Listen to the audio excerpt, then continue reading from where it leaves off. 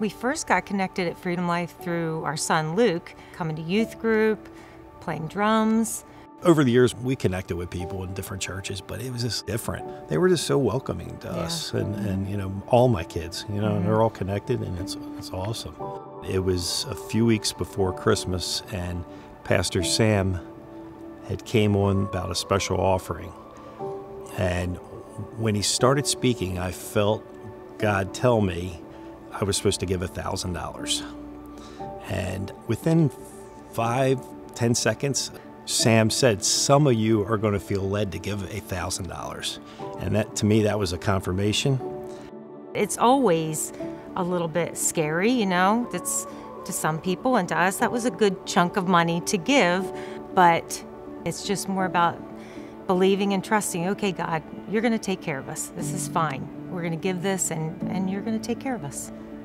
Fast forward to March and COVID hits. We've got to shut down the coffee shop Eat In for 2 weeks. So one day, not far into this, we got a telephone call for an order, and uh, we did the order and we took it outside to the car. And uh, the woman I had never seen before, she tipped us like twenty dollars, and it just touched me, you know. And I was just so appreciative to her, and I think I teared up. I was just very thankful. About three days later, this same woman walks in, lays an envelope in front of me, and walks out. And I got off the phone and I opened it up, and there's a letter in there, and it says, God told me some time ago that I was to give some money to someone, but I didn't know who. She said, The other day when I met you, I knew it was you.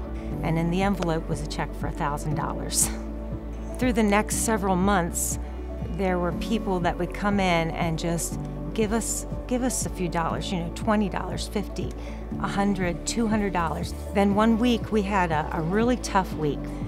This same woman, she sent her husband in with another check for us, this time for $1,500. Our business has doubled in the last year.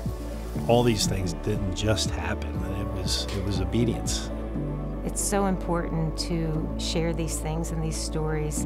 The Bible says we overcome by the blood of the Lamb and the word of our testimony. And it's encouraging to us when we retell it, it reminds us hey, God's faithful. He did this before, He just did this for you, He's going to do it mm. again. And then you encourage other people. We don't give to get. We we we give in obedience. It's just amazing. You can't outgive God.